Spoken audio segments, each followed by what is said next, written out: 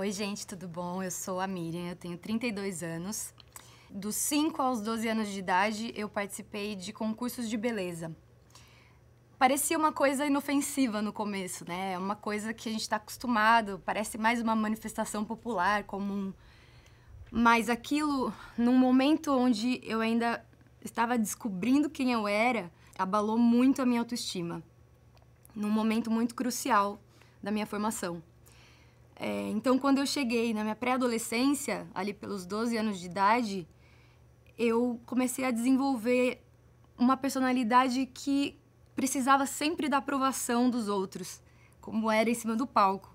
Por causa disso, eu comecei muito cedo a desenvolver comportamentos compulsivos totalmente não saudáveis para lidar tanto com o que eu sentia como para conseguir me sentir aceita em certos grupos. Então, aos 12 anos eu comecei a matar aula para beber, e não era para beber cerveja, era para beber conhaque.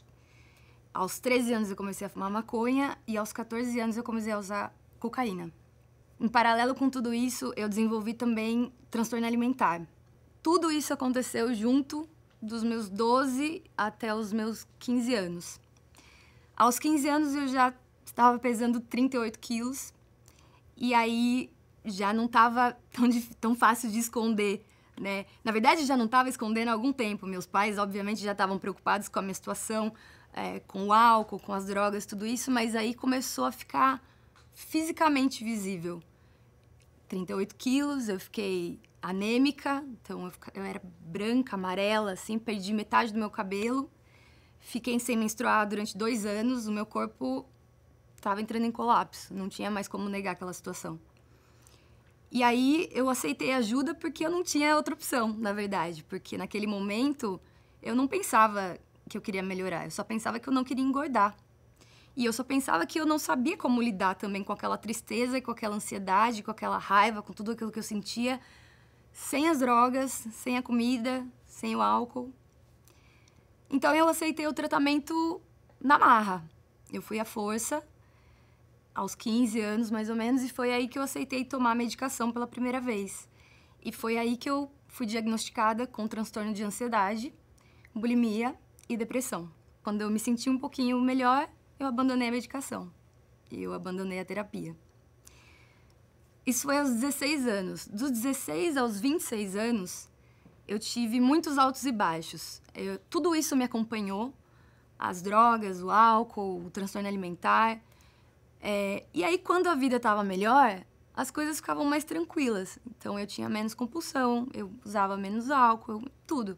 E quando as coisas pioravam, todos esses comportamentos também aumentavam. Eu fiquei desempregada em janeiro de 2013. Em outubro de 2013, numa terça-feira à noite, eu tomei meia garrafa de Fernet, que é um fermentado de ervas que tem o mesmo teor alcoólico da vodka. Então, é como se eu tivesse tomado meia garrafa de vodka sozinha na minha casa e eu apaguei. Eu acordei no outro dia tremendo muito, com o coração disparado, com muito medo, no meio de uma crise de pânico, com muito, muito medo de morrer. Foi nesse momento que eu resolvi buscar ajuda. E eu sentei na cadeira do terapeuta e eu disse para ele: se as coisas continuarem como estão, eu vou morrer e eu não quero morrer. Então eu tô há seis anos em tratamento. Deixei primeiro as drogas, depois o álcool, depois a compulsão alimentar.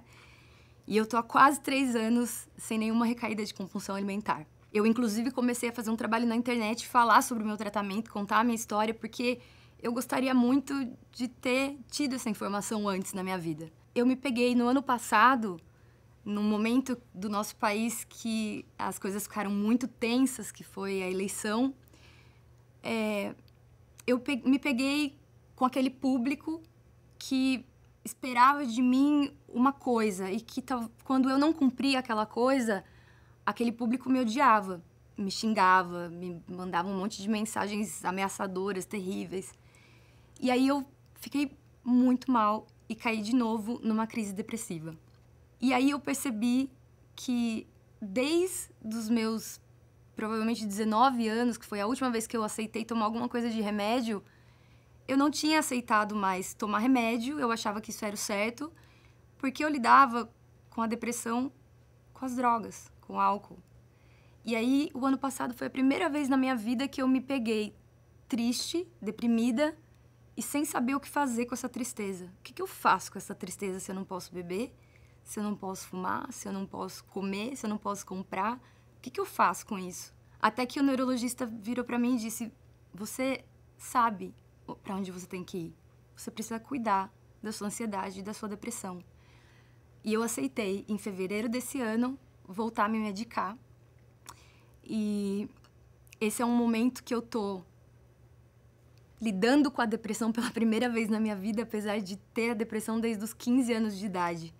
Porque eu precisei deixar todas essas capas para trás para olhar para mim e entender que eu precisava cuidar de mim. Então, até o trabalho nas redes sociais é uma coisa que hoje eu estou repensando como equilibrar, porque se eu comecei a fazer esse trabalho para falar do meu tratamento, que era para minha melhora, e eu percebi no meio do caminho que as redes sociais estavam atrapalhando meu tratamento, não tinha sentido.